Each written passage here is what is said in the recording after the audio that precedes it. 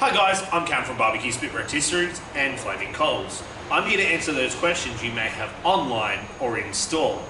A question we often get asked is, how does an offset smoker work? It's really quite easy.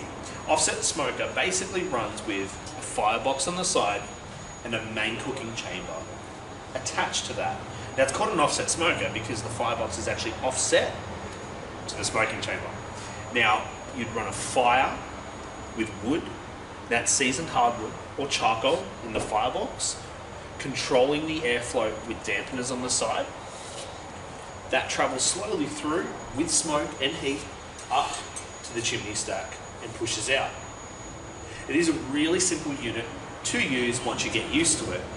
For more hints and tips, make sure you download our smoking guide, and thanks for watching.